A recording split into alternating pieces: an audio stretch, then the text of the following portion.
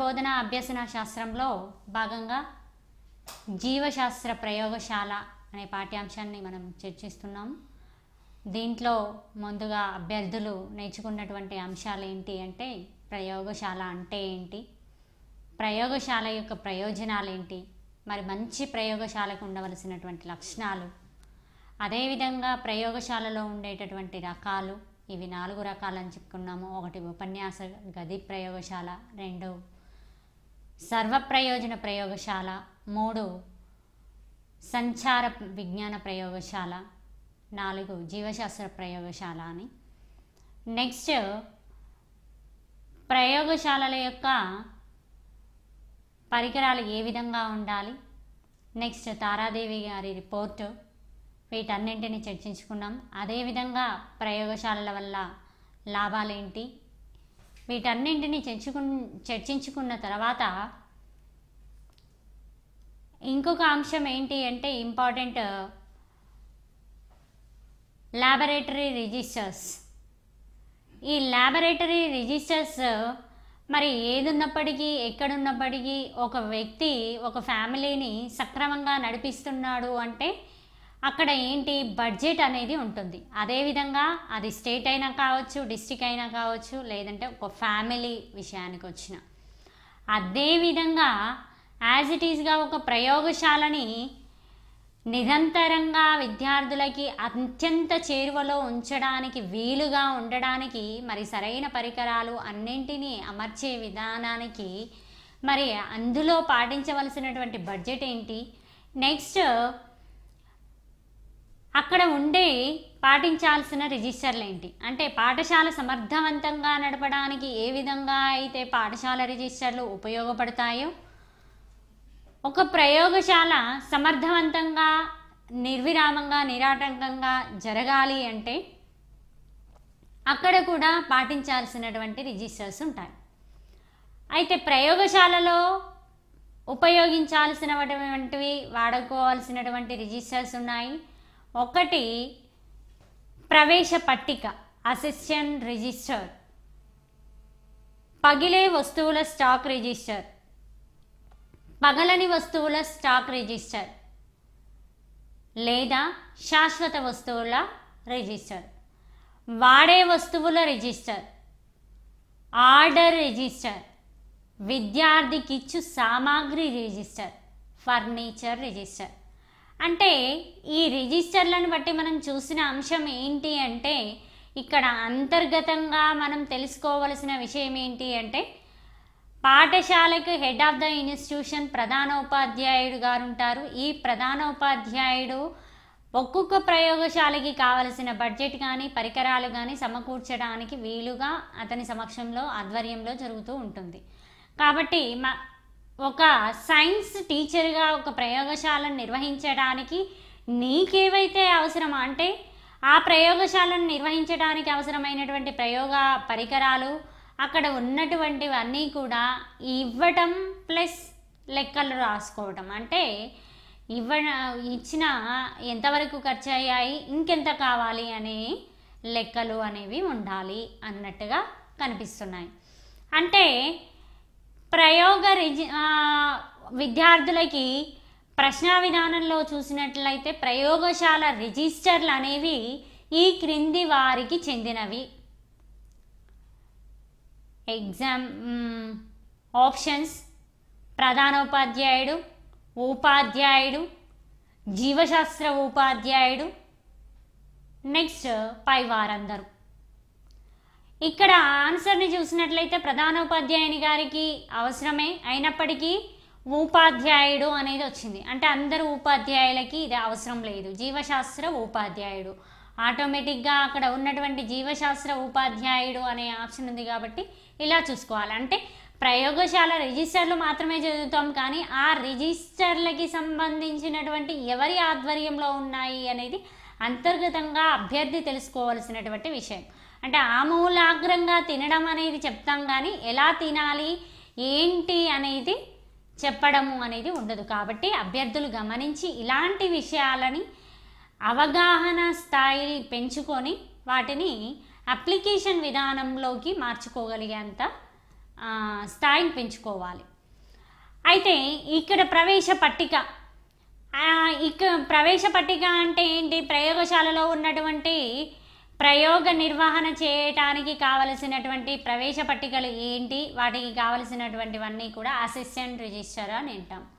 Next పగిలే వస్తువుల stock register means ఎన్నైతే ప్రధానోపాధ్యాయుడు గారి సమక్షంలో పా ప్రయోగశాలకి పరికరాలు వస్తాయో ఆ పరికరాలన్నింటినీ కూడా స్టాక్ రిజిస్టర్ అంటే స్టాక్ అంటే నిల్వ ఉండడము. నిల్వ ఉండే రిజిస్టర్ ఎలాంటి నిల్వ ఉండే రిజిస్టరు పగిలే వస్తువుల నిల్వ ఉండే రిజిస్టర్. అంటే పగిలే వస్తువులు ఏవైతే ఉన్నాయో అవి రాగానే ఫస్ట్ రిజిస్టర్లో ఎంటర్ చేసుకోవాలి. ఎన్ని పగిలే వస్తువుల రి- వస్తువులు వచ్చాయి అని. నెక్స్ట్ పగిలే వస్తువులు ఏమై ఉంటాయి? పిప్పెట్ బ్యూరెట్ తర్వాత బీకర్ నెక్స్ట్ కొనికల్ ప్లాస్ ఇలాంటివన్నీ కూడా పగలటానికి ఛాయిస్ ఉంటుంది. గాజు పరికరాలు అన్నీ కూడా పగిలే అవకాశం ఉంది. కాబట్టి వీటిని పగిలే వస్తువుల అని అంటాం.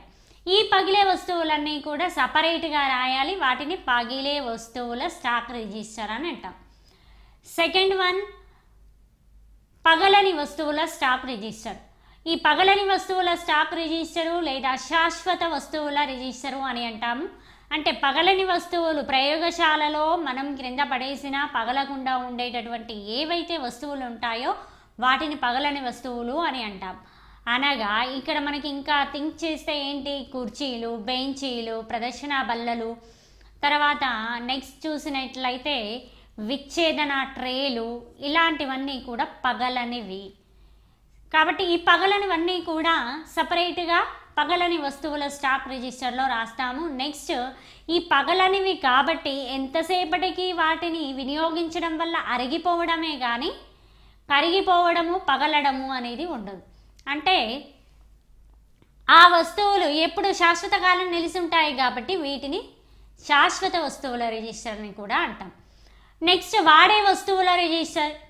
ఇప్పుడు చేర్చినటువంటి రెండు రిజిస్టర్లు పగిలే వస్తువుల స్టాక్ రిజిస్టర్ పగలని వస్తువుల స్టాక్ రిజిస్టర్ రెండూ కూడా వాడడానికే కదా సమకూర్చింది కాబట్టి ఈ రెండింటిలో ఏది వాడితే ఆ వాడే రిజిస్టర్లో రాయాలి.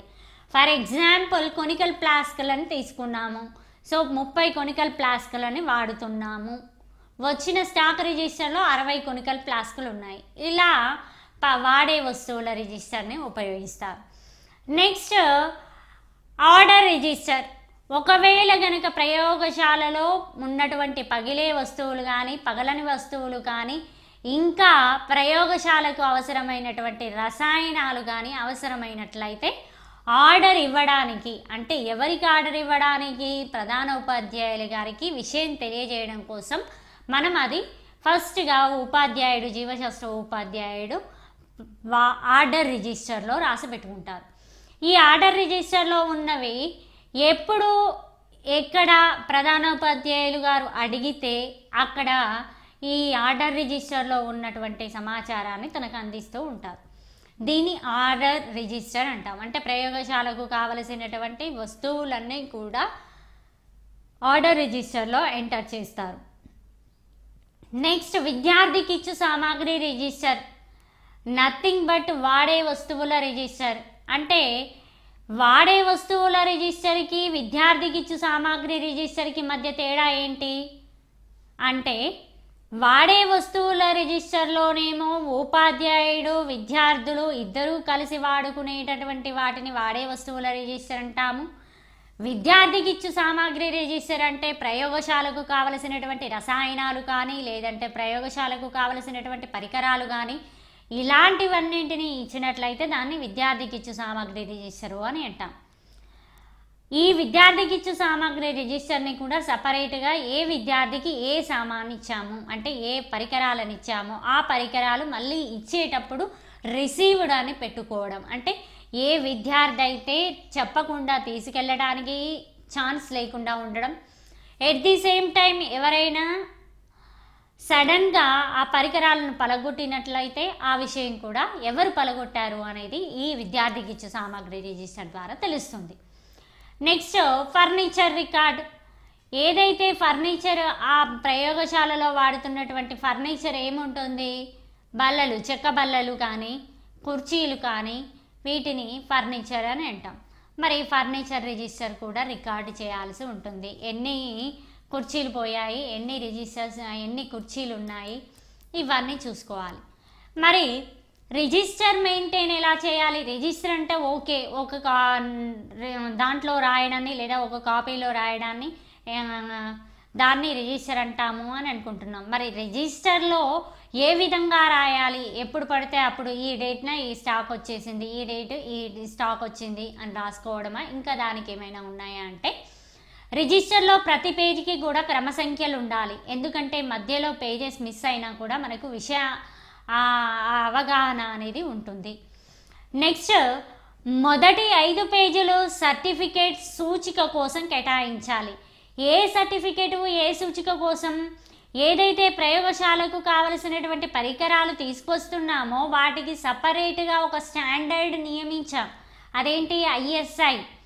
సో ఈ ఐఎస్ఐ వారు సూచించినటువంటి స్టాండర్డ్ని ఆ లేబుల్స్ని ఇక్కడ పెట్టడం జరుగుతుంది రాయడం జరుగుతుంది. వాటి కోసమని ఐదు పేజీలు ఆ సర్టిఫికేట్ సూచిక కోసం కేటాయించాలి.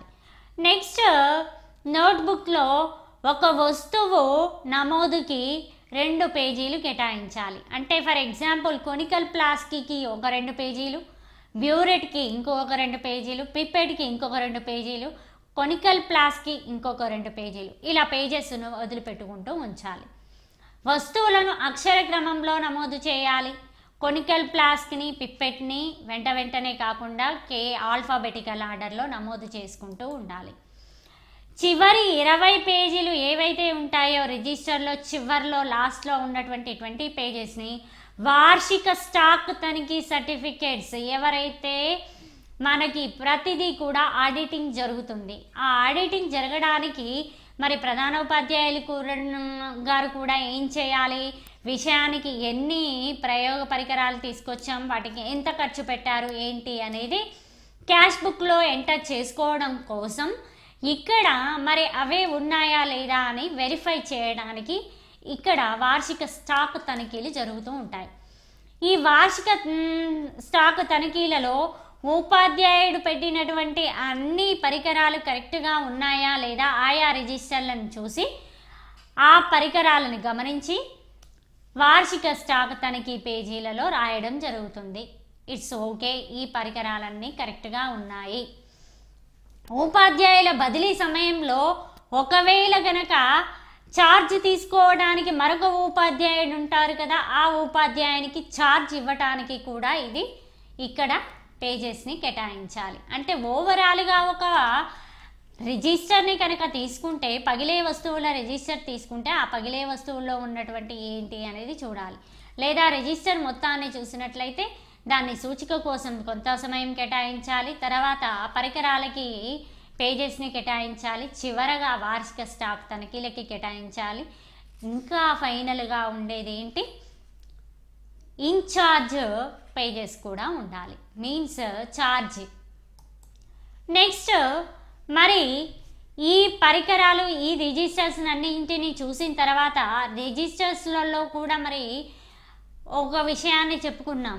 పగలని వస్తువుల రిజిస్టరు లేదా ఉన్నటువంటి ఫర్నిచర్ మరి ఫర్నిచర్లో చూసినట్లయితే చెక్క పరికరాలు ఉంటాయి ఇత్తడి పరికరాలు ఉంటాయి నెక్స్ట్ uh, ఇనుము పరికరాలు కూడా ఉంటాయి. మరి ఇనుము పరికరాలని ఈ చెక్క పరికరాలు కానీ ఇవన్నీ శాశ్వత వస్తువుల రిజిస్టర్లో ఉంటాయి. మరి శాశ్వత వస్తువుల రిజిస్టర్లో ఉన్నటువంటి ఈ పరికరాలని ఎలా శుభ్రపరచుకోవాలి ఎలా భద్రపరచుకోవాలి అనేది చూద్దాం. మరి చెక్క పరికరాలు.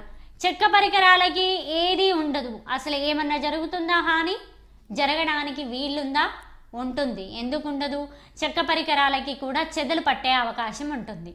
ఆ చెదలు పట్టకుండా చెదపురుగులు తిరగకుండా ఏం చేయాలి? స్పిరిట్ పాలిష్ వేయాలి. వార్నిష్ చేయించాలి. ఎప్పటికీ ఉండే విధంగా చూసుకోవాలి. నెక్స్ట్ ఆమ్లాల వల్ల కానీ క్షారాల వల్ల కానీ చెక్క పాడవ్వకుండా ఉండడం కోసం ఏం చేయాలి? ఆ చెక్క స్టాండ్లకు కానీ లేదంటే టేబుల్స్కి కానీ మైనం పూత వేయాలి. నెక్స్ట్ మరి అదే విధంగా ఇనుప పరికరాలు కూడా ఉంటాయనుకున్నాం మరి ఇనుప పరికరాలకి ఏముంటుంది? తృప్పు పడుతుంది. ఇలా తృప్పు పట్టకుండా ఇనుప పరికరాలన్నింటికి కూడా నూనె లేదా గ్రీజు పూయాలి. ఇలా నూనె గ్రీజు పూసిన తర్వాతే ఇనుప పరికరాలని భద్రపరచాలి. నెక్స్ట్ ఇత్తడి పరికరాలు. ఈ ఇత్తడి పరికరాలు ఎప్పటికప్పుడు ఏమవుతుంది? తుప్పు పట్టినట్టుగా తయారవుతుంది. మరి ఇత్తడి పరికరాలు తలతలా మెరవాలంటే ఏం చేయాలి?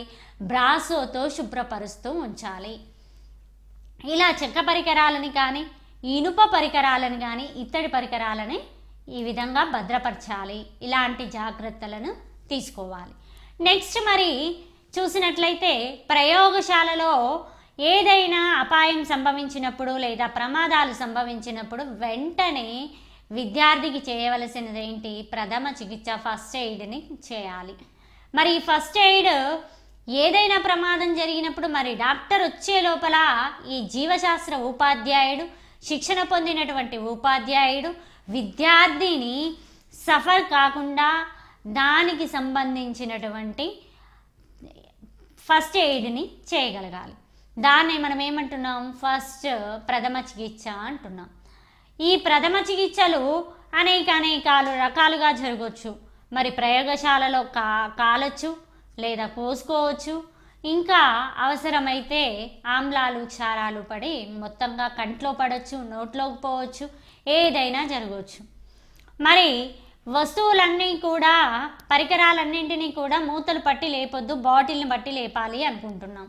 విద్యార్థి ఆ జాగ్రత్తగా ఉండి బాటిల్ని మాత్రం కాకుండా ఆ బాటిల్ యొక్క మూతను పట్టుకొని లేపుతాడు. అలా జరగడం వల్ల పగిలే వస్తువు మొత్తం కాలి ఆమ్లాల వల్ల గాయమైందనుకోండి. డాక్టర్ వచ్చేలోపు జీవశాస్త్ర ఉపాధ్యాయునిగా ఎలాంటి ప్రథమ చికిత్స అందించగలగాలి చూద్దాం. మరి మొట్టమొదటిగా చూసినట్లయితే గాయాలకి ప్రథమ చికిత్స. మరి గాయాలకి ప్రథమ చికిత్స ఏ విధంగా? మొదటగా మనము మామూలుగా అయితే విద్యార్థికి జీవశాస్త్ర పరిజ్ఞానం ఆధారంగా ఒక గాయం జరిగింది అంటే ఆ గాయాన్ని ముందుగా కడిగి సబ్బు ఎలా కడగాలి? చల్లటి నీటితో కడగాలి. ఆ చల్లటి నీటితో పాటుగా సబ్బు పెట్టి కడిగి శుభ్రపరచాలి అనేది తెలుసు. మరి ప్రయోగశాలలో గాయం జరిగితే ఏం చేయాలి? చిన్న చిన్న గాయాలైతే గనక హైడ్రోజన్ పెరాక్సైడ్తో కానీ డెటాల్తో కానీ శుభ్రం చేయాలి. నెక్స్ట్ ఈ హైడ్రోజన్ పెరాక్సైడ్తో కానీ లేదంటే డెటాల్తో శుభ్రం చేసిన గాయానికి టింక్చర్ అయోడిన్లో ముంచినటువంటి దూదిని అంటించి కట్టు కడితే సరిపోతుంది. అంటే అప్పటి వరకు కాస్త పెయిన్ రిలీఫ్గా ఉంటుంది. ఎట్ ది సేమ్ టైం ఇంకా ఇన్ఫెక్షన్ కాకుండా ఉంటుంది. ఈ ఇన్ఫెక్షన్ కాకుండా ఉండడం కోసం అంటే టెటానస్ ధనుర్వాతం రాకుండా కూడా ఉండొచ్చు. అంటే గాయాల ద్వారా ఏదైనా జరిగినప్పుడు మనకు జరుగుతుంది అని తెలుసు. అలా కాకుండా ఉండడం కోసం ఈ ఫస్ట్ ఎయిడ్ని చేస్తారు. మరి నెక్స్ట్ కాలటం. ఎలా కాలాలి? ఏ విధంగా కాలుతుంది అంటే ఏవైతే కాలేటటువంటి ఆమ్లాలు ఉంటాయో ఆ ఆమ్లాల వల్ల కావచ్చు లేదా క్షారాల వల్ల కావచ్చు. గాఢ ఆమ్లాలు కావచ్చు గాఢ క్షారాలు కావచ్చు. ఈ క్షారాల వల్ల కానీ ఆమ్లాల వల్ల కానీ జరిగితే ఆమ్లాల వల్ల కాలితే సున్నపు తేటతోని. అంటే సున్నపు తేట మీన్స్ క్షారం. ఆమ్లానికి విరుగుడు క్షారం. క్షారాల వల్ల కాలితే వన్ పర్సెంట్ ఆమ్లాన్ని వాడి. వన్ పర్సెంట్ ఆమ్లం మనకి అందుబాటులో ఉండేటటువంటి ఆమ్లం ఏంటిది? ఎసిటిక్ ఆమ్లం. ఎసిటిక్ ఆమ్లం ఎందులో దొరుకుతుంది? నిమ్మకాయలు. ఇలా నిమ్మకాయని వాడి వెపలిన్ లేదా బర్నాల్ని కానీ పూస్తే సరిపోతుంది. అయితే ఇక్కడ గాయాలకి కాలటానికి మధ్యన ఫస్ట్ ఎయిడ్ డిఫరెంట్గా ఉంది. అక్కడ ఏం చేశారు? హైడ్రోజన్ పెరాక్సైడ్తో శుభ్రం చేయడం జరిగింది. ఇక్కడ శుభ్రం చేయడం లేదు. జస్ట్ ఆ శుభ్రం దేని ద్వారా? ఆమ్లాలైతే క్షారంతోని. ఆ క్షారం ఏంటి? సున్నపు తేట. క్షారాల వల్ల కాలితే వన్ పర్సెంట్ ఆమ్లం. ఏ ఆమ్లము? ఎసిటిక్ ఆమ్లము. ఎసిటిక్ ఆమ్లం ఎక్కడ ఉంటుంది నిమ్మరసంలో ఉంటుంది. సో వెపలిన్ బర్నాల్ని కానీ పుయ్యాలి. అంటే దీనివల్ల విద్యార్థి ప్రయోగశాలలో జీవశాస్త్ర ఉపాధ్యాయుడు నిమ్మరసాన్ని ఉపయోగించి గాయాన్ని మార్చడం చూసినటువంటి విద్యార్థి నిత్య జీవితంలో ఈ విధంగా అలవర్చుకుంటాడు. ఏ విధంగా అలవర్చుకుంటాడు అంటే నిమ్మకాయ కూడా ఒక మంచి ఔషధం అని అనుకోవడం. అంటే ఇలా నిమ్మకాయలో ఏముంది అంటే చెప్పడం ఆమ్లం ఉంటుంది అని. ఈ విధంగా క్షారాల వల్ల జరిగేటటువంటి కాలే గాయాలకి చికిత్స చేస్తాం. నెక్స్ట్ ఇదే కాకుండా భాస్వరం వల్ల కాలితే? భాస్వరం వల్ల కాలితే ఫస్ట్గా కడిగిన తర్వాత సిల్వర్ నైట్రేట్ కానీ వ్యాజిలిన్ కానీ లేదా సోడియం బై కార్బోనేట్ కానీ జెంటియన్ కానీ వైట్ జెల్లీ కానీ రాయొచ్చు. భాస్వరం వల్ల కాలితే చాలా ఉన్నాయి. సిల్వర్ నైట్రేట్ కానీ వ్యాజిలిన్ కానీ సోడియం బై కార్బోనేట్ కానీ జెంటిమ్ జెంటియన్ కానీ వైట్ జెల్లీ కానీ ఇవన్నీ కూడా కాలడంలో ఉన్నటువంటి భాస్వరం వల్ల కాలితే జరిగేటటువంటి ప్రథమ చికిత్స. ఇంకా నెక్స్ట్ కంటిలో గాయాలు. ఏదైనా ప్రయోగం చేసేటప్పుడు ఆ ప్రయోగంలో ఉన్నటువంటి తేడాలని గమనించమని ఉపాధ్యాయుడు బాగా ఆతృతగా చేసిండనుకోండి. విద్యార్థి కంగారులో ఏం చేస్తాడు? ఆ ప్రయోగశాల పైన మొహాన్ని పెట్టి చూడడం జరుగుతుంది. అలా మొహం పెట్టినప్పుడు ఏదైనా అందులో రసాయనిక చర్యల వల్ల గనక ఆమ్లం కంటిలో పడినా లేదా చూసేటప్పుడు కానీ ఆ బాటిల్ యొక్క మూత తీసేటప్పుడు కానీ ఏదైనా ఒక చినుకులాగా వచ్చి కంటిలో పడినా ఇలాంటి ప్రమాదాలు అదృష్టవశాత్తు జరుగుతూ ఉంటాయి కాబట్టి ఇలాంటి వాటికి ఏ విధంగా ప్రథమ చికిత్స చేయాలి? కంటిలో గనుక ఆమ్లం పడితే క్షారం పోయాలి. ఏ క్షారము? Sodium bicarbonate. కంటిలో ఆమ్లం పడితే సోడియం బై కార్బోనేట్. అదే క్షారం పడితే నీటితో కడిగి తర్వాత వన్ పర్సెంట్ బోరిక్ ఆమ్లం ద్రావణంతో శుభ్రం చేయాలి. ఒకవేళ గ్లీజరిన్తో ముంచినటువంటి సన్నని బ్రష్తో వాటిని తొలగించాలి. అంటే కంటిలో గనక ఏదైనా నకలం పడితే గనక ఏం చేయాలి? గ్లిజరిన్లో ముంచినటువంటి ఒక సన్నని బ్రష్ తీసుకొని తొలగించాలి. మళ్ళీ గ్లిజరిన్లో బ్రష్ను పెట్టి కంటిలో ముంచడం వల్ల జరిగేది ఏంటి అంటే గ్లిజరిన్కి ఉన్నటువంటి శక్తి ఏంటి? కన్నీటిని అశ్రు గ్రంథులని ప్రేరేపించి కన్నీటిని స్రవింపజేస్తుంది. ఆ కన్నీరు ఎక్కువగా రావడం వల్ల కంటిలో ఉన్నటువంటి నలుసు కానీ దుమ్ము కానీ నకలాలు కానీ ఏమవుతాయి? కంటి నీటి ద్వారా బయటకు వస్తాయి. అందుకే గ్లిజరిన్తో ముంచినటువంటి సన్నని బ్రష్తో వాటిని తొలగించడం జరుగుతుంది. నే ఇప్పటివరకు గాయాల ద్వారా ప్రథమ చికిత్స చేయడం చూసాము కాలటానికి ప్రథమ చికిత్స నెక్స్ట్ కంటిలో గాయాలు జరిగితే.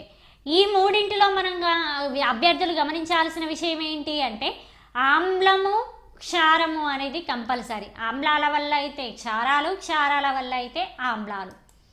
నెక్స్ట్ విష పదార్థాలు. ఏదైనా విష పదార్థాల వల్ల తీసుకున్నట్లయితే ఒకవేళ జీవశాస్త్ర ఉపాధ్యాయుడు ట్వంటీ ఎంఎల్ రసాయనాలను సేకరించాలి అన్నప్పుడు విద్యార్థి అనుభవజ్ఞుడు కాక పిప్పిట్ ద్వారా అలా తీస్తున్నప్పుడు అది ఆటోమేటిక్గా గొంతులోకి వెళ్ళిపోవడం. అలాంటి విష పదార్థాలను కనుక సా అనుకోకుండా తీసుకున్నట్లయితే ఎలాంటి ప్రథమ చికిత్సలను చేయాలి? యాంటిమోని కానీ యార్సినిక్ కానీ భాస్వరం వంటివి జీర్ణ వ్యవస్థలో మంటలను పుట్టిస్తాయి మంట మండుతుంది. ఎందుకు? అక్కడ ఉన్నటువంటి జీర్ణ రసాలకి వీటికి మధ్యన ప్రతిచర్యలు జరగడం వల్ల. అప్పుడు జీవశాస్త్ర ఉపాధ్యాయుడు ఓపియం మార్ఫిన్ నికోటిన్ లాంటివి రక్త ప్రసరణ వ్యవస్థ మీద విష ప్రభావాన్ని చూపిస్తాయి. కొన్ని జీర్ణ వ్యవస్థ మీద ప్రభావం చూపితే మరికొన్ని రక్త ప్రసరణ వ్యవస్థ మీద ప్రభావాన్ని చూపుతున్నాయి. అలాగే శ్వాస వ్యవస్థల మీద కూడా విష ప్రభావాన్ని చూపిస్తాయి. వీటికి ప్రథమ చికిత్సగా ఏం చేయాలి మరి? యాంటిమోనీ కానీ ఆర్సినిక్ కానీ భాస్వరం కానీ ఓపియం కానీ మార్ఫిన్ కానీ నికోటిన్ కానీ ఇలాంటి విష పదార్థాలని గొంతు నుండి లోపలికి జీర్ణాశయంలోకి గనక వెళితే వీటికి ప్రథమ చికిత్స ద్వారా ఏమి ఇవ్వాలి అంటే గుడ్లు పాలు బార్లీ. గుడ్లు లేదంటే పాలు లేదంటే బార్లీ ఇంకా అత్యంత చీప్గా దొరికేటటువంటి మరి అత్యంత మంచి ఔషధంగా పనిచేసేది ఏంటి అంటే బియ్యం గంజిని కానీ తాగించాలి. ఇది విష పదార్థాలకు ఇచ్చేటటువంటి విరుగుడు. నెక్స్ట్ ఆమ్లాలైతే ఒకవేళ ఆమ్లాలే అయ్యాయి అనుకోండి విష పదార్థాలు స్వీకరించడంలో. మరి ఆమ్లాలైతే ఏం చేయాలి? నిమ్మరసాన్ని కానీ లేదంటే మిల్క్ ఆఫ్ మెగ్నీషియంని కానీ ఇవ్వాలి. క్షారాల వల్ల అయితే నిమ్మరసం కానీ ఎసిటిక్ ఆమ్లం కానీ ఇవ్వాలి. మిల్క్ ఆఫ్ మెగ్నీషియం ఆమ్లాలకైతే క్షారాలకేంటి? ఎసిటిక్ ఆమ్లం నిమ్మరసాన్ని ఇవ్వాలి. తినకూడని పదార్థాలు తింటే అంటే ఫర్ ఎగ్జాంపుల్ ప్రయోగశాలలో ఉప్పులాగా ఉండే తెల్లటి లవణ పదార్థాలని ఏదైనా ఇచ్చారనుకోండి వాటికి ఏం చేస్తాము? ఆ లవణ పదార్థాల బదులుగా అంటే వాడు టేస్ట్ చూడడం కోసం ఉప్పులాగా నాలుక పైన రుచి చూసినట్లయితే ఆ రుచి చూసినటువంటి వాటి విష పదార్థాలకి ఆవ నూనె తాగించాలి. ఆవ నూనె తాగించడం వల్ల ఏం జరుగుతుంది? వాంతులు అవ్వడం జరుగుతుంది. అంటే విష పదార్థాలను బయటకి పంపించడం జరుగుతుంది. నెక్స్ట్ తెలియని విషపూరిత వాయువులని కనుక పీల్చినట్లయితే ఆ విషపూరితమైనటువంటి వాయువులు ఎప్పుడు వెలువడతాయి? ఏదైనా ప్రయోగాన్ని చేసినప్పుడు ప్రయోగంలో వెలువడినటువంటి విషపూరిత వాయువులని కనుక పీల్చినట్లయితే ఆ పీల్చిన వాయువు చోట ఎక్కడ బట్టలని గట్టిగా ఉన్నటువంటి బట్టలను వదులు చేసి కాస్తగా వచ్చే చోట పడుకోబెట్టుకోవాలి. నెక్స్ట్ పడుకోబెట్టినటువంటి ఆ అభ్యర్థికి ఏం చేయాలి? ఆ విద్యార్థికి క్లోరిన్ బ్రోమిన్ అయితే అమోనియాని పీల్చనివ్వాలి. మరి విష పదార్థం తెలియంది అనుకోండి తెలిసిన పదార్థం అయితే క్లోరినో బ్రోమినో అయితే దానికి అమోనియం ఇవ్వడం జరుగుతుంది. మరి విష పదార్థం తెలియంది అయితే charcoal magnesium oxide. Charcoal magnesium oxide tannic ఆమ్లం. ఈ మూడింటిని కలిపి two is to one is to one నిష్పత్తిలో యాంటీవర్సల్ యాంటీడోస్ అంటాం. అంటే దీన్ని యూనివర్సల్ యాంటీడోస్ అని కూడా అంటాము. ఈ యూనివర్సల్ యాంటీడోసులో ఉన్నటువంటి మిశ్రమ పదార్థాలు అభ్యర్థులు చాలా ముఖ్యమైనటువంటి ప్రశ్నగా భావిస్తాము దీన్ని. యూనివర్సల్ యాంటీడోస్లో ఉన్నటువంటి నిష్పత్తి one is to two is to one one is to one is to two one is to one is to one two is to one is to one. అంటే ఇక్కడ చార్కోలు లేదా మెగ్నీషియం ఆక్సైడ్ టానిక్ ఆమ్లం. ఇంకా ప్రశ్నని కఠినంగా అడగాలి అనుకున్నట్లయితే two is to one is to one universal యాంటీడోస్లో two అనగా టూ మీన్స్ చార్కోల్. ఇలాంటి ఇలా క్వశ్చన్స్ వచ్చే అవకాశం ఉంటుంది. నెక్స్ట్ ఇవి ప్రథమ చికిత్సలో ఉన్నటువంటి భాగాలు. ఫస్ట్ వన్ గాయాల వల్ల సెకండ్ వన్ కాలటం వల్ల థర్డ్ వన్ వచ్చేసి ఏవైనా విష పదార్థాలు తిన్నట్లయితే నెక్స్ట్ విష వాయువులను పీల్చినట్లయితే ప్రథమ చికిత్సలను తీసుకోవటం. ఈ విషవాయువుల్లో ఎక్కువగా వచ్చేది ఏంటి అంటే universal antidote. Two is to one is to one. Next magnesium milk of magnesium. ఆమ్లాలు ఒకవేళ తాగిన ఆమ్లాలను పిలిచినట్లయితే తాగినట్లయితే అంటే విష పదార్థాలను తిన్నట్లయితే మిల్క్ ఆఫ్ మెగ్నీషియంని ఇస్తాము. ఇలా జరుగుతుంది. నెక్స్ట్ మరి ఇవన్నింటినీ చేసినప్పటికీ ప్రయోగశాలల్ని మరి సంచార ప్రయోగశాలలో ప్రయోగాలు వెళ్తాయి అనుకున్నాం. అదేవిధంగా విజ్ఞాన శాస్త్రానికి లేదా జీవశాస్త్రానికి పేటికలు ఉంటాయి. వాటిని సైన్స్ కిట్స్ అంటాము. ఈ సైన్స్ కిట్స్ యొక్క ఉద్దేశం ఏంటి అంటే విజ్ఞాన శాస్త్రాన్ని సమర్థవంతంగా బోధించడానికి పరిసరాలలో లభించే వనరుల ద్వారా రూపొందించిన ప్రత్యామ్నాయ పరికరాలు కలిగిన పెట్టనే విజ్ఞాన శాస్త్ర పేటిక అంటారు. మరి ఈ శాస్త్ర పేటికలు ఎంసీఈఆర్టీలోని ఎన్సీఈఆర్టీలోని రూపొందించబడింది. మరి ఎన్సీఆర్టీ వారు యునైసెఫ్ ఆర్థిక సహాయంతో ఈ ప్రయోగశాలల్లో ఉండేటటువంటి సైన్స్ కిట్స్ని రూపొందించడం జరిగింది. ఈ ఎన్సీఆర్టీ ప్రయోగశాలల అవసరాలు తీర్చడానికి మరి ప్రయోగశాలలో ఎలాంటి అవసరం ఉంటుంది అవసరానికి తగినట్టుగా వీరు ఇవ్వడం జరుగుతుంది. వీటిని విజ్ఞాన శాస్త్ర పేటికలు అని అంటాం. మొదలుగా మరి గుర్తించాల్సింది ఏంటి ప్రత్యామ్నాయ పరికరాల కోసం ఏర్పాటు చేసే కిట్స్ని ఏమంటారు? విజ్ఞాన శాస్త్ర పేటికలు అని అంటారు. లక్ష్యం మారకుండా లక్ష్య సాధన కోసం ప్రత్యామ్నాయ పరికరాలతో ఏదో ఒకలాగా విద్యార్థికి పూర్తి అవగాహన స్థాయిని పెంచడానికి ఉపయోగపడేటటువంటి వాటిని విజ్ఞాన శాస్త్ర పేటికలు అని అంటాం. అంటే విద్యార్థికి సమగ్ర సమాచారాన్ని అందించటమే విజ్ఞాన శాస్త్ర పేటికల యొక్క ముఖ్య ఉద్దేశం. నెక్స్ట్ విజ్ఞాన శాస్త్ర పేటికలు అనేవి రెండు రకాలుగా ఉంటాయి. ఒకటి ప్రదర్శన పీఠికలు ఉపాధ్యాయుల కోసం. రెండు విద్యార్థుల పేటికలు. ఇవి విద్యార్థుల కోసం. ఈ విద్యార్థుల పేటికలు అనేవి చెక్క లేదా ఇనుముతో తయారు చేయబడి ఉంటాయి. ఈ ఆరలు డ్రాయర్లు కలిగి ఉంటాయి. అంటే చెక్క టేబుల్స్ ఇవన్నీ పెట్టడం జరుగుతుంది. ఉపాధ్యాయులు ప్రదర్శన పేటికలు అంటే ప్రదర్శన బల్ల అనేది ఉంటుంది. ఈ విధంగా విజ్ఞాన శాస్త్ర పేటికలు నిర్మించబడి ఉంటాయి. మరి విజ్ఞాన శాస్త్ర పేటికలు చూసినట్లయితే జీవశాస్త్ర పేటికలు భౌతిక రసాయన శాస్త్ర పేటికలు నెక్స్ట్ ఈ మూడింటి పేటికలని ఒక్కోలాగా వివరించడం జరిగింది. మరి జీవశాస్త్ర పేటికలు ఏ విధంగా ఉంటాయి? నెక్స్ట్ రసాయన శాస్త్ర పేటికలు ఏ విధంగా ఉంటాయి చూద్దాం. విజ్ఞాన శాస్త్ర పేటికల్లో మరి మూడు శాఖలుగా భౌతిక శాస్త్ర పేటికలు రసాయన శాస్త్ర పేటికలు జీవశాస్త్ర పేటికలు. మరి భౌతిక శాస్త్ర పేటికలను చూసినట్లయితే ఆరవ తరగతికి ఏడవ తరగతికి ఎనిమిదవ తరగతికి ఉద్దేశించబడి ఉంటాయి. నెక్స్ట్ ఈ తరగతుల్లో ఉన్నటువంటి విద్యార్థుల సంఖ్య ఎంత అంటే ఎందరైనా ఉండొచ్చు. అంటే ఎంతమంది? బిలో ఫార్టీ ఫైవ్ లోపల ఉండగలగాలి. నెక్స్ట్ ఆ విజ్ఞాన శాస్త్ర పేటికలో ఉండేటటువంటి పరికరాల సంఖ్య ఎంత అంటే ట్వంటీ ఫైవ్ నెక్స్ట్ ఎనిమిదవ తరగతి విద్యార్థులకు కేటాయించబడినటువంటి భౌతిక శాస్త్ర పేటికలో ఎన్ని పరికరాలు ఉంటాయి అంటే ముప్పై తొమ్మిది పరికరాలు ఉంటాయి. ఇవి భౌతిక శాస్త్రానికి సంబంధించినటువంటి పేటికలు. నెక్స్ట్ అదేవిధంగా చూసినట్లయితే ఎట్ ది సేమ్ టైం భౌతిక శాస్త్ర పేటికలు ఉపాధ్యాయుల కోసం కూడా ఉంటాయి.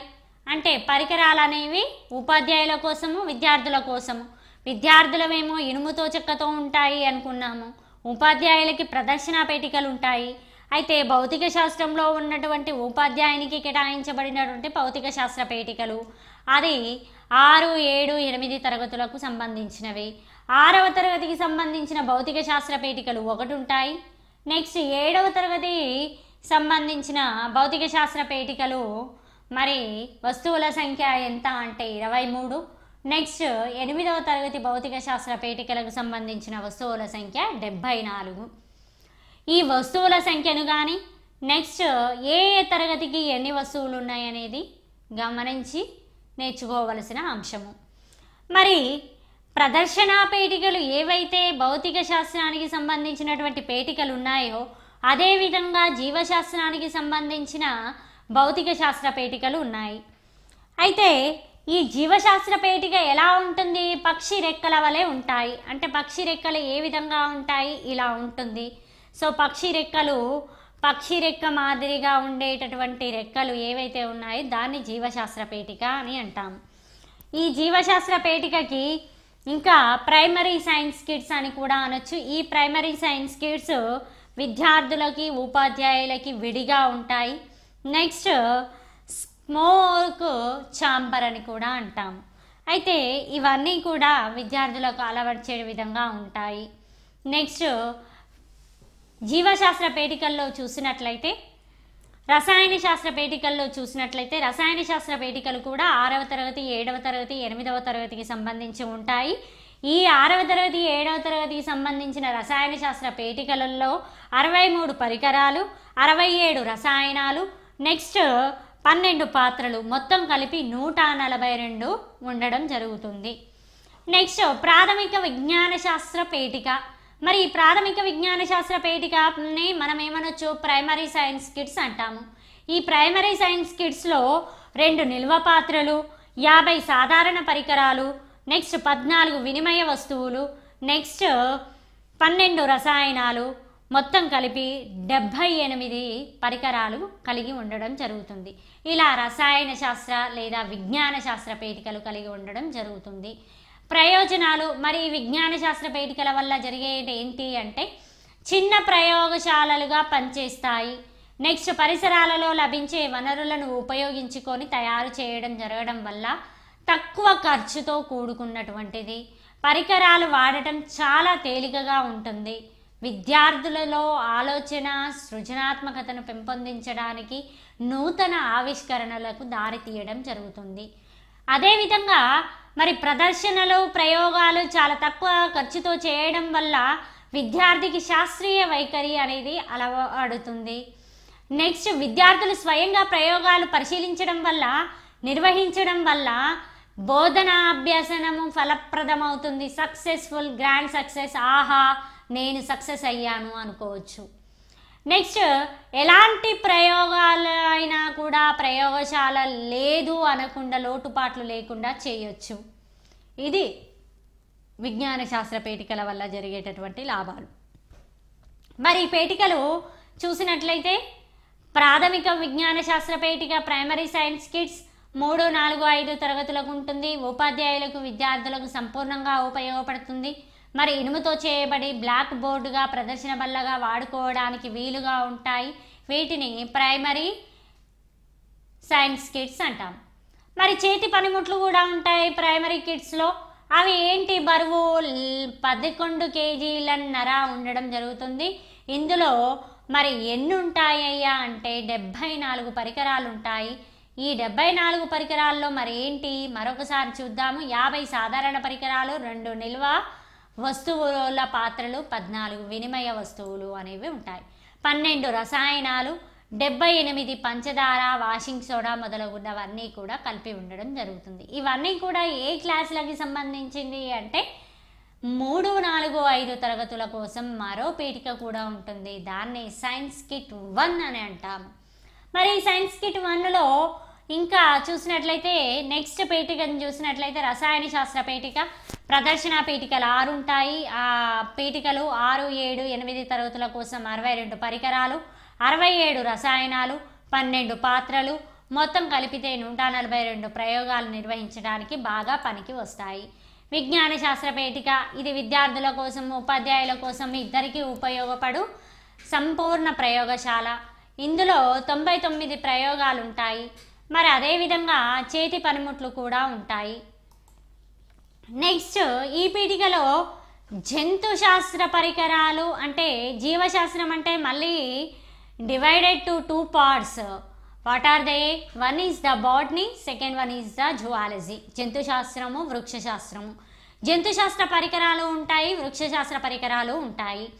జంతు శాస్త్ర పరికరాలు ఒకటవ భాగంలో శరీర ధర్మ శాస్త్రానికి చెందినవి. నెక్స్ట్ వృక్ష శాస్త్ర భాగాలు రెండో భాగంలో ఉంటాయి. అంటే ఒక రకంగా చూసినట్లయితే జీవశాస్త్ర పేటిక ఇలా ఉంటే దీంట్లో ఒక రెక్క వృక్ష శాస్త్రానికి సంబంధించింది మరొక రెక్క జంతు శాస్త్రానికి సంబంధించింది. అంటే అది చూడడానికి మోడల్ ఎలా ఉంటుంది? పక్షి రెక్కల వలె కదులుతూ ఉంటాయి. ఇలా పక్షి రెక్కల వలె కదలడానికి వీలుగా ఉన్నటువంటి ఇది వృక్షశాస్త్రము జంతు శాస్త్రములా ఉంటుంది. నెక్స్ట్ జీవశాస్త్ర పేటిక విద్యార్థులకు ఉపాధ్యాయులకు విడిగా పేటికలు లేనటువంటివి. నెక్స్ట్ విజ్ఞాన శాస్త్రంలో ఉన్నటువంటి జీవశాస్త్ర పేటిక ప్రైమరీ సైన్స్ కిట్స్లా ఉంటుంది. నెక్స్ట్ కాంతి ప్రయోగాల కోసం. ఈ కాంతి ప్రయోగాలలో కాంతి పుంజాలను నెక్స్ట్ కాంతి ప్రభావం ఏ విధంగా ఉంటుంది? వీటన్నింటి కోసం ప్రయోగాలు చేయటానికి స్మోక్ ఛాంబర్ని ఉపయోగించడం జరుగుతుంది. అంటే ఇక్కడ ప్రశ్నావళి విధానంలో చూసినట్లయితే కాంతి ప్రయోగాల కోసం ఉపయోగించేటటువంటి గది పొగ గది చీకటి గది లేదా వెలుతురు గది పై గదులన్నీ. ఇలాంటి తెలుగులో ఇవ్వడం జరుగుతుంది. మనం చదవడం ఇంగ్లీష్లో స్మోక్ ఛాంబర్ అని అంటాం. ఇట్లా కాంతి ప్రయోగాల కోసం ఉపయోగించేటటువంటి వాటిని స్పోక్ చాంబర్స్ అంటాము. ఈ స్పోక్ చాంబర్స్ విద్యుత్ అయస్కాంతాల కోసం లేదా బ్యాటరీల గల పేటిక ఉంటుంది. దీన్నే భౌతిక ప్రదర్శన పేటిక అంటాం. ఈ భౌతిక ప్రదర్శన పేటిక అవసరం అయితే దీన్ని ఉపాత ఏంటి ప్రదర్శనకి రాయవచ్చు? నెక్స్ట్ ఇవే కాకుండా మరి ఇలాంటి ప్రయోగశాలలు మరి సమయానికి అందుబాటులో లేదు. పిల్లవాడికి అర్థవంతంగా చెప్పాలి. మరి మూర్త దశలో ఉన్నటువంటి అనుభవాలను కలిగించగలగాలి. అభ్యసన కృత్యాలు అభ్యసన అనుభవాలు ఎంత బలిష్టంగా విద్యార్థికి అందచేయబడతాయో అంత సంపూర్ణమైనటువంటి స్పష్టీకరణాలను రాబట్టగలుగుతాము. స్పష్టీకరణాలను రాబట్టగలగాలి అంటే విద్యార్థిలో మంచి విలువలను పెంపొందించగలగాలి. ఆ విలువలు ఎక్కడి నుంచి వస్తాయి అంటే అభ్యసన కృత్యాలు అభ్యసన అనుభవాల వల్లని. కాబట్టి అభ్యసన అనుభవాలు అనేవి ప్రత్యక్ష అనుభవమా పరోక్ష అనుభవమా లేదా ప్రాతినిధిత్వ అనుభవాల ఆధారంగా జరుగుతుందా అనేది చూడగలగాలి. ఇలాంటి అనుభవాలని విద్యార్థికి అందించడానికి జీవశాస్త్ర ఉపాధ్యాయునికి మరి ముఖ్యమైనటువంటి టూల్ పరికరం ఏంటి అంటే బోధనోపకరణాలు.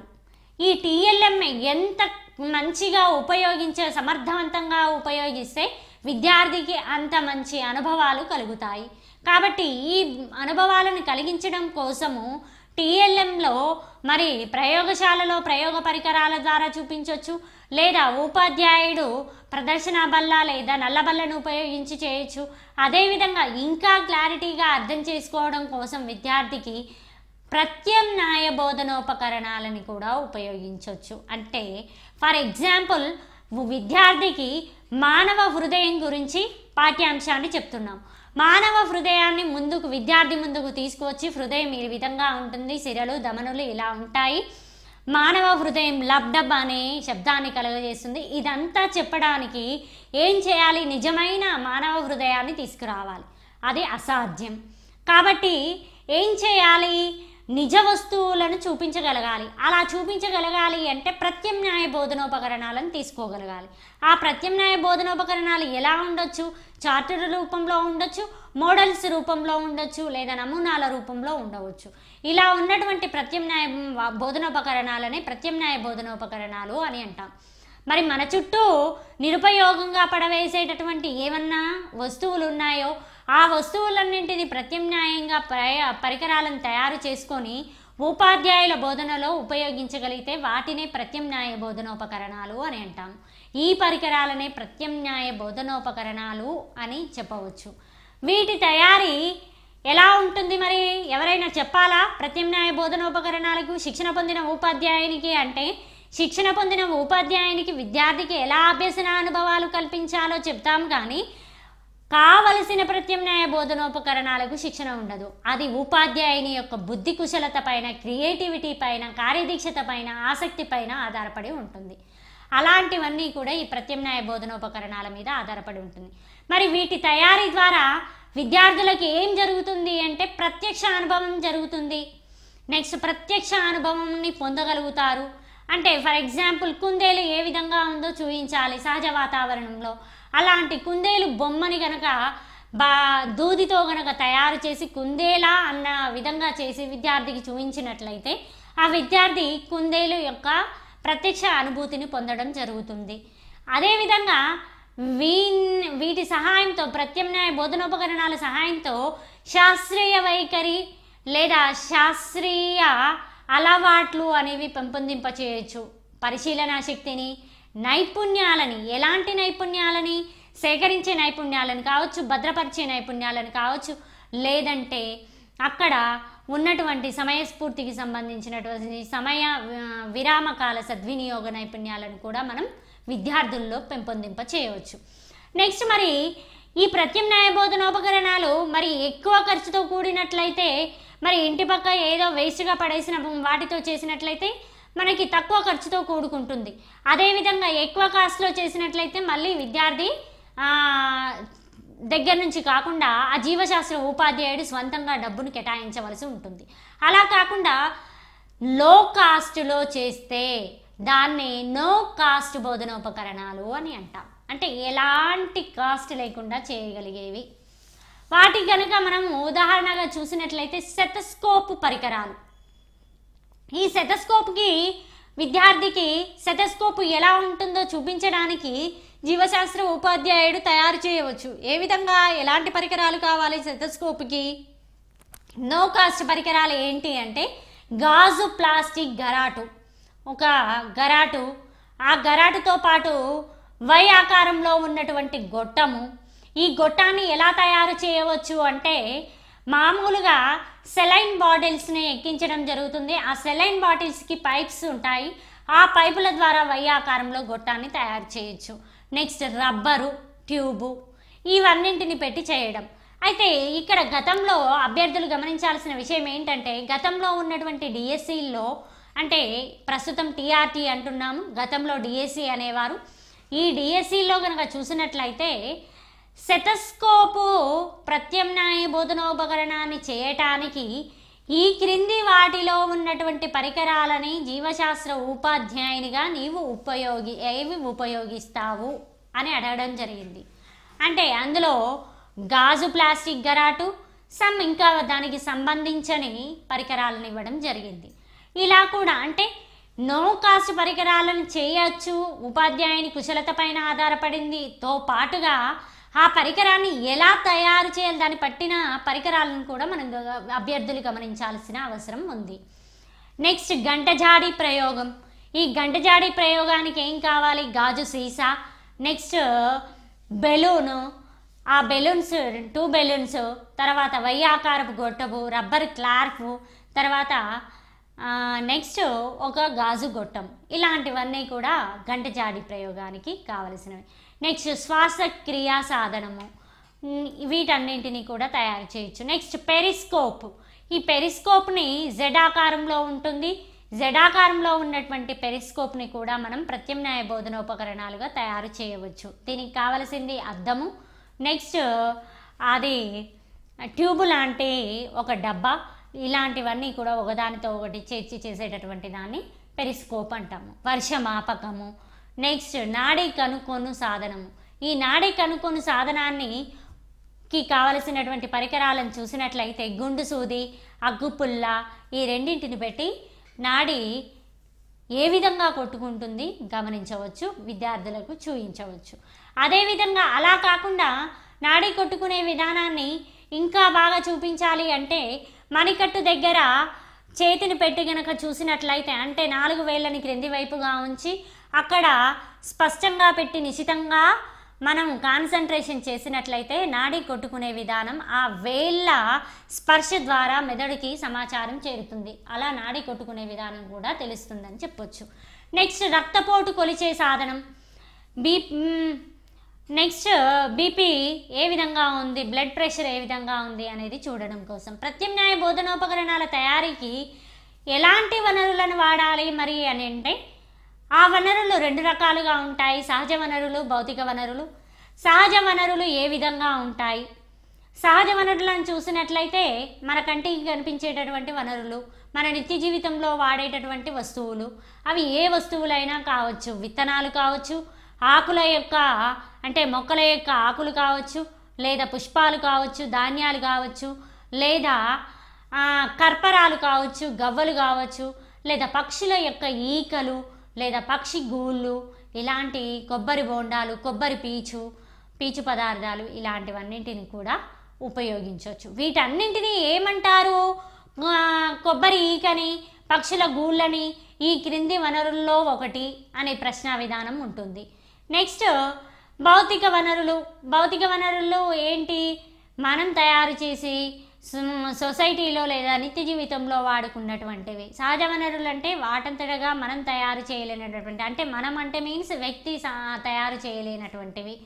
నెక్స్ట్ భౌతిక వనరుల విషయానికి వచ్చినట్లయితే డబ్బాలు నెక్స్ట్ ప్లాస్టిక్ సీసాలు మాడిపోయినటువంటి ఎలక్ట్రిక్ బల్బులు వీటన్నింటిని ఉపయోగించి తయారు చేయవచ్చు. దీనికి ఎగ్జాంపుల్గా చూసినట్లయితే చి జీవశాస్త్ర ఉపాధ్యాయునిగా ఒక విషయాన్ని పెద్దగా ఎన్లార్గ్ చేసే అంటే ప్రొజెక్టెడ్ పరికరాన్ని తయారు చేయడం కూడా తయారు చేయవచ్చు. ఎలక్ట్రిక్ బల్బు ద్వారా ఒక తలుపుకి కన్నాన్ని పెట్టి ఎలక్ట్రిక్ బల్బులో వాటర్ పెట్టి ఆ కన్నానికి ఎదురుగా పెట్టి దానికి ఒక ఫిలిం స్ట్రిప్ పెట్టినట్లయితే ఆటోమేటిక్గా తెరపైన ఆ ఫిలిం స్ట్రిప్ట్ పెద్దగా కనబడుతుంది. దాన్నే ప్రొజెక్టర్ విధానంలో ఎలాబరేట్ చేయొచ్చు. నెక్స్ట్ ఇంకా అగ్గిపెట్టెలు టీ చెంచాలు రబ్బర్ బ్యాండ్లు బెలూన్లు ప్లాస్టిక్ సంచులు రిబ్బన్లు మొదలగున్నవి కూడా ఉపయోగించవచ్చు. మరి ప్రత్యామ్నాయ పరికరాల తయారీకి సోపానాలు ఉన్నాయి ఏంటి మరి సోపానాలు? అంటే ప్రత్యామ్నాయ పరికరాలని ఎవరు ఎలా తయారు చేసినా we are followed by these steps first one is లక్ష్యాల నిర్వచనము డిజైన్ తయారీ ఉపకరణం తయారు చేయడం. పరికరానికి పైన పరీక్ష పెట్టడము నెక్స్ట్ తుది నిర్ణయం తీసుకోవడం తయారు పంపిణీ చేయడం. అంటే లక్ష్యాల నిర్వచనం. ఇక్కడ చూసినట్లయితే సెతస్కోప్ పరికరాన్ని తయారు చేయాలనుకోవడం లక్ష్యము. డిజైన్ తయారీ ఏ విధంగా ఉంటుంది సెతస్కోప్ ఆ డిజైన్ విధానంగా ఒక పరికరాలతోని సహజ వనరులతో కానీ భౌతిక వనరులతో కానీ చేయడాన్ని డిజైన్ తయారు చేయడము అని అంటాము. ఉపకరణం తయారు చేయడం. ఆ ఉపకరణం ఏ విధంగా ఉంటుంది? దానికి సంబంధించినటువంటి గరాట్లు ఏం కావాలి? దానికి సంబంధించిన పరికరాలు ఏం కావాలి? ఎలాంటి వస్తువులు కావాలి? ఆ పరికరాలతోని ఆ వస్తువులతోని ఆ దాన్ని ఉపకరణాన్ని తయారు చేయడం. ఉపకరణం తయారు చేసిన తర్వాత అది పనిచేస్తుందా లేదా చూడడం. అంటే ఈ విధంగా ఏ విధంగా పనిచేస్తుంది అని చూపించడం. అదేవిధంగా తుది నిర్ణయం తీసుకోవటం. ఈ తుది నిర్ణయాన్ని తీసుకోవడాన్ని ఓకే ఇది సక్సెస్ఫుల్గా విద్యార్థులకి ఒకసారి ఎక్స్ప్లెయిన్ చేస్తే విద్యార్థి క్యాచ్ చేయగలిగితే ఆ జ్ఞానాన్ని అవగాహన చేసుకోగలిగినట్లయితే వెంటనే ఇది సక్సెస్ గ్రాండ్ సక్సెస్ అనుకొని ఆ ప ప్రత్యామ్నాయ బోధనోపకరణాన్ని మిగతా పాఠశాలలకి పంపిణీ చేయవచ్చు. ఇది ప్రత్యామ్నాయ బోధనోపకరణాల యొక్క సోపానాలు. నెక్స్ట్ ప్రత్యామ్నాయ బోధనోపకరణాలకి ప్రత్యామ్నాయ బోధనోపకరణాలకి ఎగ్జాంపుల్గా నిత్య జీవితంలో వాడేటటువంటి విధానాన్ని చూపించవచ్చు. ఏ విధంగా నిత్య జీవితంలో వాడే విధానము అంటే మెదడు నిర్మాణాన్ని చూపించాలి. మెదడులో మరి ఏ విధంగా ఉంటుంది? అని చెప్పినట్లయితే ఎత్తు పల్లాలు కలిగినటువంటి మెదడు కలిగి ఉంటుంది అని చెప్పడం. సల్సీలు తర్వాత అవి ఏ విధంగా అమరి ఉంటాయి చూపించడం. నెక్స్ట్ మరి వెన్నెముక నిర్మాణం ఏ విధంగా ఉంటుంది? లేదా ఊపిరితిత్తుల చుట్టూ ఉండేటటువంటి ఫ్లోరా త్వచం ఏ విధంగా పనిచేస్తుంది? ఇలాంటివన్నింటిని కూడా మనం ప్రత్యామ్నాయ బోధనోపకరణాల ద్వారా విద్యార్థులకు అర్థమయ్యే రీతిలో వివరించవచ్చు. ఈ ప్రత్యామ్నాయ బోధనోపకరణాల వల్ల డబ్బు ఆదా చేయొచ్చు. విద్యార్థుల్లో శ్రమ పట్ల గౌరవం పెరుగుతుంది. అనేక నైపుణ్యాలని అభివృద్ధి చేయవచ్చు. విద్యార్థుల్లో అంతర్గతంగా క్రియేటివిటీని పెంచవచ్చు. నెక్స్ట్ ఖాళీ సమయాన్ని వృధా చేయకుండా ఉపయోగించుకోవచ్చు. మరి ఇవి బోధనోపకరణాల యొక్క ప్రత్యామ్నాయ బోధనోపకరణాల యొక్క ప్రయోజనాలు. అదేవిధంగా మౌలిక సూత్రాలను సులభంగా ఏవైతే సిద్ధాంతాలు సూత్రాలు నియమాలు ఉన్నాయో వాటిని అర్థం చేసుకోవాల్సి చేసుకోవడానికి ఈజీగా ఉంటుంది. నెక్స్ట్ మనస్సు చెయ్యి అనుసంధానం చక్కగా పెరుగుతుంది. నెక్స్ట్ మానసిక శ్రమతో పాటుగా శారీరక శ్రమ కూడా ఎలా ఉంటుంది? ఉత్సాహాన్ని చూపించే విధంగా ఉంటుంది. నెక్స్ట్ ఇదే కాకుండా ఇంకా ఈ విషయం పట్ల చూసినట్లయితే మరి టోటల్గా నేర్చుకున్నటువంటిది ఏంటి? ప్రయోగశాల ప్రయోగశాల రకాలు ప్రయోజనాలు అదేవిధంగా పా ప్రయోగశాలలో వాడేటటువంటి రిజిస్టర్లు ఆ రిజిస్టర్లతో పాటుగా ప్రత్యామ్నాయ బోధనోపకరణాలు మరి ప్రథమ చికిత్స ఏ విధంగా చేయాలి? ఇలాంటివన్నీ కూడా ఈ ప్రయోగశాల అనే జీవశాస్త్ర ప్రయోగశాల అనే పాఠ్యాంశం ద్వారా నేర్చుకున్నాం. ఇందులో ఉన్నటువంటి ప్రతి అంశాన్ని మరి కొలతలు కావచ్చు చేసేటటువంటి స్టెప్స్ మరి ప్రత్యామ్నాయ బోధనోపకరణాలు వీటన్నింటిపైన అభ్యర్థులు వాటిని గమనిస్తూ సూక్ష్మంగా చదువుతూ వాటి యొక్క అంతర్మూలాన్ని అంటే అవగాహన స్థాయిని పెంచుకొని చదువుకోవాల్సిన అవసరం ఉంది ప్రత్యామ్నాయ బోధనోపకరణాల్లో భాగంగా ఇంకా చూసినట్లయితే చాలా పరికరాలను విద్యార్థికి మూర్త అనుభవాలను కలిగించే విధంగా చూపించవచ్చు. ఏ విధంగా అంటే విద్యార్థికి కావలసినటువంటి మెదడు నిర్మాణం ఏ విధంగా ఉంటుంది అనే విధానాన్ని ఒక క్రియేటివిటీ సృజనాత్మకత కలిగినటువంటి ఉపాధ్యాయుడు తన యొక్క చేతిని మొత్తం కూడా ముడిచి చూపించవచ్చు. ఏ విధంగా? బ్రెయిన్ ఏ విధంగా ఉంటుందో అదే విధంగా ఈ నిర్మాణాన్ని ఈ విధంగా ఉంటుంది అని చూపించడం అంటే ఎత్తుపల్లాలు గైరీలు సల్సీలు ఏ విధంగా అమరి ఉంటాయి. నెక్స్ట్ మెదడు నిర్మాణం ఏ విధంగా ముడుచుకుని ఉంటుంది దాని ద్వారా వచ్చినటువంటి మధ్యాముఖం ఏ విధంగా ఉంటుంది ఇలాంటి మధ్యాముఖం క్రిందగా మారినటువంటి వెన్నుపాము ఎలా ఉంటుంది అనేది కూడా చేతిని చూపిస్తూ అంటే ఏ కాస్ట్ లేకుండా నో కాస్ట్ ద్వారా విద్యార్థికి బ్రెయిన్ యొక్క పూర్తి నిర్మాణాన్ని అందించవచ్చు. అదేవిధంగా మరి వెన్నుపాము వెన్నుపాము ఎలా ఉంటుంది ఏంటి అనేది పెన్ను ద్వారా చూపించవచ్చు. అది ఏ విధంగా అంటే పె ఇది వెన్నుపాము అనుకున్నట్లయితే వెన్నుపాము ఏ విధంగా ఉంటుందో ఆ విధంగా ఉండి వెన్నుపాములో వెన్నుపాము యొక్క రక్ష రక్షణగా ఉండేటటువంటి ద్రవము అది రిఫిల్లో ఉండేటటువంటి ద్రవము అదేవిధంగా కింద ఉన్నటువంటి వెన్నుపాము వెన్నముక ఇది కనిపించడం. తర్వాత నెక్స్ట్ దీనికి పైన ఉండేటటువంటిది ఏంటి? బ్రెయిన్ ఇదే మెదడు అని ఇలా కూడా చూపించవచ్చు. అంటే ఒక టోపీ లాగా పనిచేసేటటువంటి వెన్నుపాము మీద ఉన్నటువంటి టోపీ ఏంటి అని అంటే బ్రెయిన్ దాన్నే మెదడు అని అంటాము. ఈ మెదడులో మూడు భాగాలు ఉంటాయి అని ఇలా కూడా విద్యార్థికి అర్థమయ్యే విధంగా చూపించవచ్చు. నెక్స్ట్ మరి ఇంకా చూసినట్లయితే ఉపాధ్యాయుడు మరి గుండె నిర్మాణాన్ని చూపించగలగాలి. గుండె నిర్మాణాన్ని చూపించాలి అంటే ఒక నమూనాను తీసుకురావడమే కాకుండా ఇంకా చూసినట్లయితే సహజ వాతావరణంలో ఉన్నటువంటి కోడి యొక్క హృదయాన్ని తీసుకువచ్చి కూడా. హృదయంలో ఏ విధంగా ఉంది అనేది కూడా చూపించవచ్చు. నెక్స్ట్ అదేవిధంగా మరి విద్యార్థులు నిత్య జీవితంలో ఒక ఆటగా ఆడుతూ ఉంటారు కానీ అది ఒక విధానము ఒక పరికరము అనేది వారికి కూడా తెలియదు. ఆ విషయాన్ని ఉపాధ్యాయుడు చెప్తే జీవశాస్త్రం పట్ల ఆసక్తి అభిరుచి పెరగటమే కాకుండా అభినందించడం కూడా జరుగుతుంది. అది ఏంటంటే అగ్గిపెట్టెలకి ఏం చేస్తారు? అటు ఒక రెండు అగ్గిపెట్టెలు తీసుకొని ఒక అగ్గిపెట్టెకి మరొక అగ్గిపెట్టెకి దారాన్ని కట్టి అక్కడ ఒక విద్యార్థి ఒక అగ్గిపెట్టె చివర ఇంకొక విద్యార్థి ఇద్దరు వింటూ మాట్లాడుతూ ఉండడం. అంటే ఒకడు మాట్లాడు ఒకరు మాట్లాడుతూ ఉంటే విద్యార్థి మాట్లాడుతూ ఉంటే ఆ మాటలు ఆ- దారం ద్వారా అవతలి విద్యార్థికి కూడా వినపడడం. అంటే దీని పరంగా మనం ఏం చేయొచ్చు? ఏదైతే మనం వాడుతున్నామో నిత్య జీవితంలో టెలిఫోన్ అనేది ఈ విధంగా వచ్చింది అనేది చూపించవచ్చు. అంటే గ్రహం బెల్ అనే శాస్త్రవేత్త ఈ విధంగా టెలిఫోన్ని కనిపెట్టాడు అనే విషయాన్ని చూపించవచ్చు. నెక్స్ట్ అదేవిధంగా మరి విద్యార్థికి టెలివిజన్ ఏ విధంగా ఉంది అనే విషయాన్ని చూపించినట్లుగానే ప్రొజెక్టర్తో పాఠ్యాంశాన్ని ఎలా చూపించడము అనేది కూడా ఎలక్ట్రిక్ బల్బు ద్వారా వాళ్ళకి విద్యార్థికి ఆ ప్రొజెక్టర్ విధానాన్ని కూడా చూపించవచ్చు అలా కాకుండా ఇంకా టెరేరియం వివేరియం లాంటి పరిస్థితులను కల్పించి విద్యార్థి యొక్క ప్రకృతిలో ఉన్నటువంటి సహజ జీవన వాతావరణం ఏ విధంగా ఉంటుందో కూడా చూపించడానికి ఆస్కారం ఉంటుంది.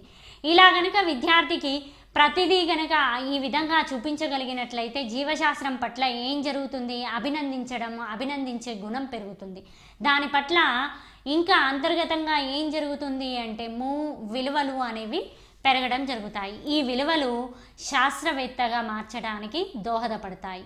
ఇంకా చూసినట్లయితే మరి ప్రత్యామ్నాయ బోధనోపకరణాలని కాకుండా ఇంకా సహజ వనరులతో కూడా మనం చాలా చూపించవచ్చు. ఆకులు పత్రాల ద్వారా ఒక నిర్మాణాన్ని వేయడం లేదంటే ఒక చిత్రాన్ని వేసి ఆ చిత్రానికి గింజల ద్వారా విత్తనాల ద్వారా వాటిని ఆ ఆకారాన్ని చేసి చూపించడము లేదా విత్తనాలపైన పేర్లు రాయడము లేదా గింజలపైన చిత్రాలను గీయడము ఇలాంటివన్నీ క్రియేటివిటీకి సంబంధించినటువంటి విధానాలను విద్యార్థుల్లో పెంపొందింప చేయవచ్చు అదేవిధంగా ఒక పత్రానికి మరొక పత్రానికి ఆకారాలని పెడుతూ చూపించవచ్చు నెక్స్ట్ విద్యార్థి యొక్క వేలుని మనము ఒక డిజైన్గా వేసి ఆ డిజైన్ని ఒక వ్యక్తిగా ఇంకొక వ్యక్తి సమాజంలో ఏ విధంగా మలుగుతాడు అనేది విషయాన్ని కూడా చూపించవచ్చు.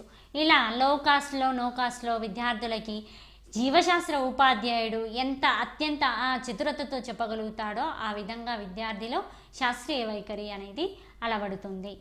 నెక్స్ట్ మరి శాస్త్రీయ వైఖ ఇవన్నింటితో పాటుగా మరి ఇంకా గమనించాల్సింది ఇంకా అన్నీ విన్న తర్వాత చదివిన తర్వాత అభ్యర్థికి వచ్చే డౌట్ ఏంటి అంటే ప్ర ప్రయోగశాలలో ఎక్కడ మరి ప్రశ్న అడిగే అవకాశం ఉంటుంది? అండ్ ప్రయోగశాలలో ప్రశ్న అడిగే అవకాశం ఎక్కడ ఉంటుంది? ఎక్కడైనా ఉండవచ్చు. ప్రయోగశాల రకాలపైన అడగవచ్చు. లేదా ప్రయోగశాలలో ఉండేటటువంటి ప్రయోజనాలు ఒక నాలుగు ఐదు ప్రయోజనాలు ఇచ్చి ఆ ప్రయోజనాలు నిజమా కాదా అని చూపించడము. ఇలాంటివన్నీ కూడా అడగడం ప్రథమ చికిత్స. మరి two is to one is to one ఏ దేనికి ఉపయోగిస్తాము? లేదంటే టూ అనగా ఏంటి? మిల్క్ ఆఫ్ మెగ్నీషియం దేనికి యూజ్ చేస్తాము? నెక్స్ట్ హైడ్రోజన్ పెరాక్సైడ్ ఏంటి? నిమ్ ఎసిటిక్ ఆమ్లం దేంట్లో ఉంటుంది? ఇలాంటి ప్రశ్నలని అడిగే అవకాశం ఉంటుంది.